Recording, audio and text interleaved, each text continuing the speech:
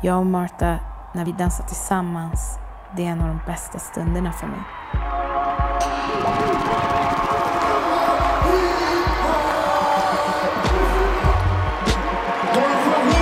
Red corner,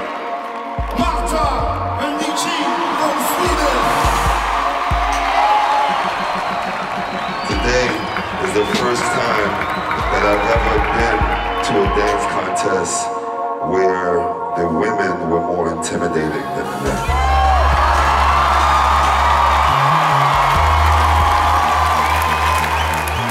Jag känner att vi kan nå så långt vi vill. Det finns inga stopp. I don't understand why it has to be divided. We need each other's flavors.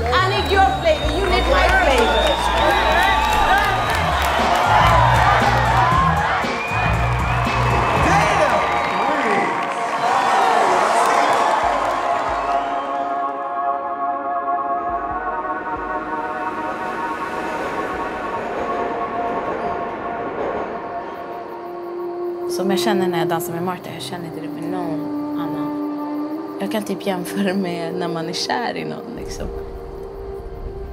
Det är fett starkt. Inbillar jag mig att det är fett starkt? Är det i mitt huvud? Det är klart jag blir besviken när vi håller i någon liten tråd så här, som håller ihop oss. Dans är min terapi. Jag dansar för att snacka av mig. Man är fri.